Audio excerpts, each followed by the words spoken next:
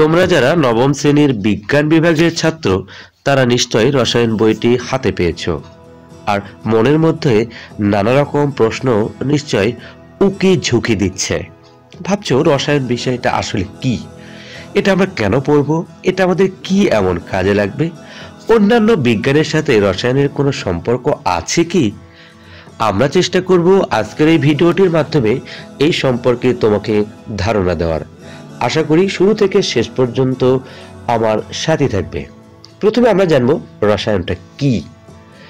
যে শাস্ত্রে পদার্থের ধর্ম, পদার্থের গঠন, ব্যবহার, পরিবর্তন ইত্যাদি নিয়ে আলোচনা করা হয়, সেটি হলো রসায়ন।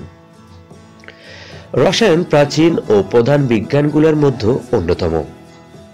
রসায়নে নানা ধরনের পরিবর্তন, সৃষ্টি, ধ্বংস, বৃদ্ধি, রূপান্তর, উৎপাদন ইত্যাদি বিষয় নিয়ে আলোচনা করা হয়।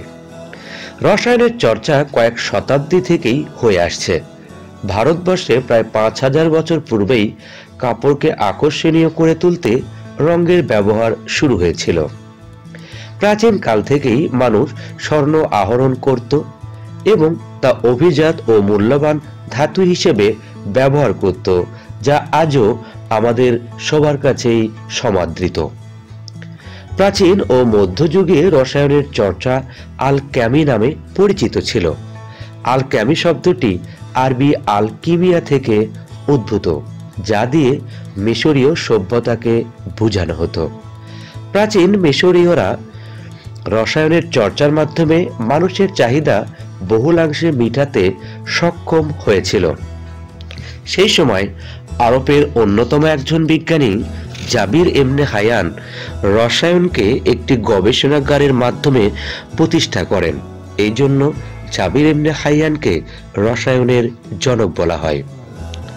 যদিও রসায়নটাকে বর্তমান পর্যন্ত আনতে অনেক বিজ্ঞানীর অবদান উল্লেখ করার মতো। তাদের মধ্যে উল্লেখযোগ্য হল বিজ্ঞানী ডেমোক্রিটাস, বিজ্ঞানী এরিস্টটল, জন ডালটন অ্যান্টনি ল্যাবোসে রোবার্ট বয়েল, স্যার ফ্যান্সিস সহ আরও অনেক বিজ্ঞানী। অ্যান্টনি ল্যাবোসেকে আধুনিক রসায়নের জনক বলা হয়। তুমি কি জানো রসায়নের পরিধি বা ক্ষেত্র কত বড়? আসলে রসায়নের পরিধি বা ক্ষেত্র বলে শেষ করা যাবে না। আসলে জীবনের শুরু থেকে শেষ পর্যন্তই রসায়নের পরিধি। তুমি যে শ্বাস প্রশ্বাস গ্রহণ করো, তাতে যে অক্সিজেন গ্রহণ করো এবং কার্বন ডাই অক্সাইড ত্যাগ করো, তা কিন্তু রসায়নেরই উপাদান। তুমি যে খাবার পানি পান করো বা বিভিন্ন খনিজ লবণ গ্রহণ করো, তা কিন্তু রাসায়নিক পদার্থ দিয়েই তৈরি, যার সাথে রয়েছে রসায়নের ঘনিষ্ঠ সম্পর্ক। তুমি জমিতে যদি সার ব্যবহার করে থাকো বা তোমাদের বাবা যদি জমিতে সার ব্যবহার করে নিশ্চয়ই তুমি সেটি দেখেছ।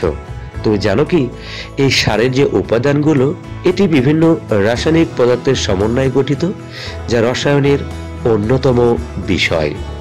আমরা যে কাগজগুলো ব্যবহার করি, তা কিন্তু আসলে সেলুলোস এই কাগজের যে প্রধান উপাদান সেলুলোস তাও কিন্তু রাসায়নিক পদার্থ এবং রাসায়নিক বিক্রিয়ার মাধ্যমেই কিন্তু কাগজ তৈরি করা হয়। রসায়নের সাথে বিভিন্ন বিজ্ঞানের কিন্তু সম্পর্ক ওতপ্রোতভাবে জড়িত। যেমন জীব বিজ্ঞানের সাথে রসায়নের রয়েছে ঘনিষ্ঠ সম্পর্ক। উদ্ভিদ যে চালক সংশ্লেষণ প্রক্রিয়ায় খাদ্য তৈরি করে, সে সময় কিন্তু পানি এবং কার্বন ডাইঅক্সাইড বিক্রিয়ার মাধ্যমে গ্লুকোজ তৈরি হয় এবং পরিবেশে অক্সিজেন ছড়িয়ে পড়ে। সেটি কিন্তু রসায়নেরই ব্যাপার। এছাড়াও আমাদের দেহের মধ্যে তথা প্রাণী বা উদ্ভিদ দেহের মধ্যে বিভিন্ন ধরনের ক্রিয়া প্রতিক্রিয়া বা বিক্রিয়া সংগঠিত হয়, যা কিন্তু রসায়নের মাধ্যমেই ব্যাখ্যা করা সম্ভব। পদার্থবিজ্ঞানের সাথেও কিন্তু রসায়নের ওতপ্রোত সম্পর্ক রয়েছে। পদার্থবিজ্ঞানের মধ্যে যে চৌম্বক তত্ত্ব, বিদ্যুৎ তত্ত্ব বা বিভিন্ন যন্ত্রপাতি নিয়ে আলোচনা করা হয়, তা কিন্তু রসায়নেরই অংশ। রসায়ন ছাড়া পদার্থ বিজ্ঞান যেমন অচল, তেমনি পদার্থ বিজ্ঞান ছাড়া রসায়নের বিভিন্ন রকমের গাণিতিক সমস্যার সমাধান করাও কিন্তু অনেক জটিল হয়ে পড়বে। এই জন্যে পদার্থ বিজ্ঞানের সাথে সাথে গণিতের সাথেও রসায়নের গভীর সম্পর্ক বিদ্যমান।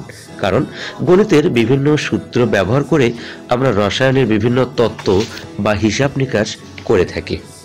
তুমি কি জানো রসায়ন পাঠের গুরুত্ব কতটা বেশি? আসলে সকালে ঘুম থেকে ওঠার পর থেকে শুরু করে তুমি যদি তোমার মৃত্যু পর্যন্ত চিন্তা করতে থাকো, সব ক্ষেত্রেই কিন্তু রসায়ন ঘনিষ্ঠভাবে জড়িয়ে রয়েছে। ধরো, তুমি ঘুম থেকে উঠে ব্রাশে একটু পেস্ট লাগিয়ে দাঁত মাজতে শুরু করলে। তুমি কি জানো যে ব্রাশটি তুমি ব্যবহার করছ, এটি একটি পলিমার যৌগ, যা বিভিন্ন রাসায়নিক প্রক্রিয়ার মাধ্যমে উৎপন্ন করা হয়? আর যে পেস্ট তুমি ব্যবহার করেছ, তাও কিন্তু বিভিন্ন রাসায়নিক পদার্থের সমন্বয়ে গঠিত। শুধু কি তাই? আমরা যে কীটনাশক ঔষধ ব্যবহার করি, জমি থেকে পোকামাকড় দূর করার জন্য, তাও কিন্তু বিভিন্ন রাসায়নিক বিক্রিয়ার মাধ্যমে উৎপাদিত পদার্থ, যার সাথেও কিন্তু রসায়নের ঘনিষ্ঠ সম্পর্ক রয়েছে। তুমি অসুস্থ হলে প্যারাসিটামল ডিসপ্রিন বা অ্যান্টাসিড খেয়ে থাকো এই ঔষধগুলো কিন্তু রাসায়নিক বিক্রিয়ার মাধ্যমেই তৈরি করা রয়েছে। কাজে এগুলোর সাথেও রসায়নের ঘনিষ্ঠ সম্পর্ক বিদ্যমান। এছাড়াও আমরা যখন মৃত্যুর মুখে পতিত হই অথবা যে কোনো প্রাণী যখন মৃত্যুবরণ করে, তখন তার শরীরের মাংসগুলো ব্যাকটেরিয়ার মাধ্যমে পচিয়ে কিন্তু মিথেন গ্যাস উৎপন্ন করে। এক কথায় যদি বলি, জীবনের শুরু থেকে শেষ পর্যন্তই রসায়নের ঘনিষ্ঠ সম্পর্ক বিদ্যমান। আমাদের দৈনন্দিন জীবনের ঘটে যাওয়া ঘটনাগুলোর সাথে কিন্তু রসায়নের ঘনিষ্ঠ সম্পর্ক রয়েছে। যেমন, তুমি দেখো, আম যখন কাঁচা থাকে, তখন সেটিকে সবুজ দেখায়, পাকলে হলুদ দেখায়। এর কারণ জানো কি? আসলে, আমের মধ্যেও এক ধরনের সবুজ বর্ণধারী পদার্থ থাকায় কাঁচা অবস্থায় আমটি সবুজ থাকে। কিন্তু ইথিলিনের উপস্থিতিতে আম যখন পাকে, তখন হলুদ বর্ণধারী পদার্থের সৃষ্টি হয়, ফলে আমটাকে তখন হলুদ দেখায়। একইভাবে কাঁচা আম খেয়ে দেখেছ? সেটি কেমন টক লাগে? আসলে, আমসহ বিভিন্ন ফলের মধ্যে থাকে succinic acid, malic acid, tartaric acid সহ বিভিন্ন ধরনের অ্যাসিড, ফলে আম বা অন্যান্য ফল কাঁচা অবস্থায় টক লাগে। কিন্তু আম যখন পাকে, তখন রাসায়নিক বিক্রিয়ার মাধ্যমে এখানে গ্লুকোজ ও ফ্রুক্টোজ উৎপন্ন হয়, ফলে আম পাকলে মিষ্টি লাগে। তুমি প্রতিনিয়তই কেরোসিন, প্রাকৃতিক গ্যাস বা মমের জ্বলন বা দহন ঘটে থাকো, নিশ্চয়? জানো কি, এর সাথেও রয়েছে রসায়নের গভীর সম্পর্ক। কেরোসিন প্রাকৃতিক গ্যাস বা মমের দহন করলে তথা পোড়ালে এগুলো থেকে কার্বন ডাইঅক্সাইড, জলীয় বাষ্প, তাপ ও আলো উৎপন্ন হয়। উৎপন্ন তাপটাকেই কাজে লাগিয়ে আমরা রান্নাসহ বিভিন্ন কাজ করে থাকি। তুমি কখনো পেটের অ্যাসিডিটিতে ভুগেছ নিশ্চয়? তখন কি ওষুধ খেতে দেওয়া হয়? অ্যান্টাসিড জাতীয় ঔষধ। তুমি জানো কি এই অ্যান্টাসিড জাতীয় ঔষধ কি করে? আসলে আমাদের পাকস্থলিতে যখন অ্যাসিডিটি হয়, তখন পেটের মধ্যে অর্থাৎ পাকস্থলিতে অবস্থিত হাইড্রোক্লোরিক অ্যাসিডের পরিমাণ বেড়ে যায়। আর আমরা যে অ্যান্টাসিড খাই, সেটি হলো ক্ষার জাতীয় ঔষধ, অর্থাৎ অ্যান্টাসিডে অ্যালুমিনিয়াম হাইড্রোক্সাইড, ম্যাগনেসিয়াম হাইড্রোক্সাইড জাতীয় ক্ষারীয় পদার্থ থাকে। এই দুটি বিক্রিয়া করে প্রশমিত হয়ে লবণ ও পানি উৎপন্ন হয়। ফলে আমরা অ্যাসিডিটি থেকে মুক্তি পাই। তাই রসায়ন পাঠ অবশ্যই গুরুত্বপূর্ণ, কারণ রসায়ন পাঠের মাধ্যমে আমরা একে সঠিক কাজে ব্যবহার করতে পারি এবং যে ক্ষেত্রে আমাদের ক্ষতির কারণ হয়ে দাঁড়ায়, সেটার থেকেও আমরা দূরে সরে যেতে পারি। যেমন অতিরিক্ত কীটনাশক আমাদের শরীরের জন্য ক্ষতির কারণ হয়ে দাঁড়ায়। এছাড়াও ফরমালিন জাতীয় পদার্থ মাছ মাংসে ব্যবহারের ফলেও আমরা নানান রকম ক্ষতির সম্মুখীন হই। কাজে রসায়ন পাঠের মাধ্যমে আমরা উপকার এবং ক্ষতিকর দিক জেনে সেখান থেকেও নিরাপদ থাকতে পারি। তুমি কি জানো যে কোনো বিজ্ঞান বা গবেষণা করার ক্ষেত্রে কিছু ধাপ অনুসরণ করতে হয়? তার মধ্যে উল্লেখযোগ্য হলো, বিষয়বস্তু নির্ধারণ করতে হয় সর্বপ্রথম। অর্থাৎ তুমি কোন বিষয়ে গবেষণা করতে চাও, সেই বিষয়বস্তুকে তোমার প্রথমেই নির্ধারণ করতে হবে। এরপর বিষয়বস্তু সম্পর্কে তোমার সাম্যক জ্ঞান থাকতে হবে। যদি জ্ঞান না থাকে, তাহলে সেই বিষয় নিয়ে নিশ্চয় গবেষণা করতে পারবে না। এরপর তোমাকে সেই বিষয়ে কাজের একটা পরিকল্পনা তৈরি করতে হবে। করার পর ফলাফল কি হতে পারে, সেই সম্পর্কে একটু আগাম ধারণা থাকা দরকার। এরপর পরীক্ষণ ও তথ্য উপাত্ত সংগ্রহ করতে হবে। তথ্য উপাত্ত এর সংগঠন এবং বিশ্লেষণ করতে হবে এবং সর্বশেষ তোমার গবেষণাটা মানব কল্যাণে ব্যবহার করতে হবে। রসায়নের ক্ষেত্রে আমরা আর বেশ কিছু তথ্য জানার চেষ্টা করব। সেটি হচ্ছে রসায়নের জন্য তোমাদের ল্যাবরেটরি রয়েছে, যেখানে তোমরা রসায়নের বিভিন্ন পদার্থ ব্যবহার করতে পারো এবং বিভিন্ন পদার্থ সম্পর্কে ধারণা নিতে পারো। তবে মনে রাখতে হবে, যখন তুমি ল্যাবে প্রবেশ করবে, তখন তোমাকে বেশ কিছু জিনিস তোমার নিরাপত্তার জন্য ব্যবহার করতে হবে। তার মধ্যে উল্লেখযোগ্য হলো অ্যাপ্রন, যেটি তুমি শরীরে পড়ার মাধ্যমে রাসায়নিক বিক্রিয়ার ক্ষতির হাত থেকে রক্ষা পেতে পারো। ব্যবহার করতে হয় সেফটি গগলস।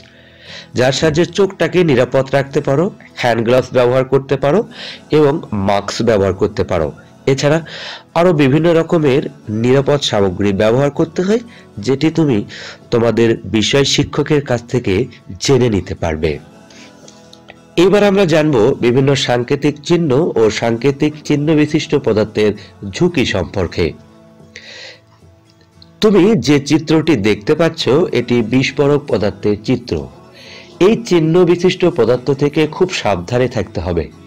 এসব পদার্থ ব্যবহারের সময় মনে রাখতে হবে, এসব পদার্থে আঘাত লাগলে বা আগুন লাগলে প্রচণ্ড বিস্ফোরণ হতে পারে, যার জন্য শরীরে এবং গবেষণাগারের মারাত্মক ক্ষতি হতে পারে। তাই এই দ্রব্যগুলো খুব সাবধানে নাড়াচাড়া করতে হবে। এর মধ্যে উল্লেখযোগ্য পদার্থ হচ্ছে টিএনটি জৈব পারক্সাইড, নাইট্রোগ্লিসারিন ইত্যাদি। এবার যে চিত্রটি দেখতে পাচ্ছ, এটি হচ্ছে দাহ্য পদার্থের চিত্র। অ্যালকোহল, ইথার ইত্যাদি দাহ্য পদার্থ। এইসব পদার্থে দ্রুত আগুন ধরে যেতে পারে। তাই আগুন বা তাপ থেকে সবসময় এই সকল পদার্থকে দূরে রাখতে হবে। এবার যে চিত্রটি দেখতে পাচ্ছ, সেটি হচ্ছে বিষাক্ত পদার্থের চিত্র। এই চিহ্নধারী পদার্থ বিষাক্ত প্রকৃতির। তাই শরীরে লাগলে বা শ্বাস প্রশ্বাসের মাধ্যমে শরীরে প্রবেশ করলে শরীরের নানা ধরনের ক্ষতি হতে পারে। বেঞ্জিন ক্লোরোবেনজিন, মিথানল এই ধরনের পদার্থ। এই ধরনের পদার্থ ব্যবহারের আগে apron, hand gloves, safety goggles ইত্যাদি ব্যবহার করতে হবে। এইবার যে চিত্রটি দেখতে পাচ্ছ, এটি হচ্ছে উত্তেজক পদার্থের চিত্র। সিমেন্ট ডাস্ট লঘু অ্যাসিড, ক্ষার, নাইট্রাস অক্সাইড ইত্যাদি উত্তেজক পদার্থ, ত্বক, চোখ, শ্বাসতন্ত্র ইত্যাদির ক্ষতি করে। তাই এই ধরনের পদার্থ ব্যবহারের সময় apron, hand gloves, safety goggles এগুলো ব্যবহার করতে হবে। এবার যে চিত্রটি দেখতে পাচ্ছ, এটি হলো স্বাস্থ্য ঝুঁকিপূর্ণ পদার্থের চিত্র। এই ধরনের পদার্থ ত্বকে লাগলে বা শ্বাস প্রশ্বাসের মাধ্যমে শরীরে প্রবেশ করলে স্বল্পমেয়াদী বা দীর্ঘমেয়াদী ক্ষতি সাধিত হতে পারে। এইগুলো শরীরের মধ্যে গেলে ক্যান্সারের মতো কঠিন রোগ কিংবা শ্বাসতন্ত্রের মারাত্মক ক্ষতি হতে পারে। তাই এই সকল পদার্থ থেকে দূরে থাকতে হবে অথবা তর্কতার সাথে ব্যবহার করতে হবে। এর মধ্যে উল্লেখযোগ্য হলো বেঞ্জিন টোলিন, জাইলিন ইত্যাদি। এবার যে চিহ্নটি তুমি দেখতে পাচ্ছ, এটি হচ্ছে তেজস্ক্রিয় পদার্থের চিত্র। ইউরেনিয়াম, রেডিয়াম ইত্যাদি হচ্ছে তেজস্ক্রিয় পদার্থ। এই ধরনের পদার্থ আমাদের ক্যান্সার বিকলাঙ্গ সহ বিভিন্ন রকমের ক্ষতি সাধন করতে পারে। কাজী এই সকল পদার্থ থেকে সবসময় আমরা দূরে থাকার চেষ্টা করব। এবার যে চিত্রটি দেখতে পাচ্ছ, এটি হচ্ছে পরিবেশের জন্য ক্ষতিকর পদার্থের চিত্র। এই ধরনের পদার্থ উদ্ভিদ এবং প্রাণী উভয়ের জন্যই বিপজ্জনক। তাই এই সকল পদার্থ ব্যবহারের ক্ষেত্রে সতর্কতা অবলম্বন করতে হবে। এর মধ্যে উল্লেখযোগ্য হলো লেড, মার্কারি ইত্যাদি। এগুলো আমরা কোনোভাবেই পরিবেশের কোথাও ছড়িয়ে ছিটিয়ে ফেলব না। এগুলো আমাদের ব্যবহারের পর প্রয়োজন না হলে সেটাকে আমরা পুনরুদ্ধার করে পুনরায় অন্য কোনো কাজে ব্যবহারের চেষ্টা করব। এবার যে চিত্রটি দেখতে পাচ্ছ, এটি হলো ক্ষত সৃষ্টিকারী পদার্থের চিত্র। অর্থাৎ এই চিহ্নধারী পদার্থ শরীরে লাগলে ক্ষতর সৃষ্টি হয়। শ্বাস প্রশ্বাসের মাধ্যমে শরীরে প্রবেশ করলে অঙ্গের ক্ষতি সাধন হতে পারে। এর মধ্যে উল্লেখযোগ্য হচ্ছে hydrochloric acid, sulphuric acid, sodium hydroxide, potassium hydroxide ইত্যাদি। এই সকল পদার্থ থেকে দূরে থাকব অথবা সাবধানে ব্যবহার করব। আশা করি ভিডিওটির মাধ্যমে তোমাদেরকে রসায়ন সম্পর্কে একটু হলেও ধারণা দিতে পেরেছি। আজ তাহলে এই পর্যন্তই। ভালো থাকো সুস্থ থাকো। আল্লাহ হাফেজ। আসসালামু আলাইকুম।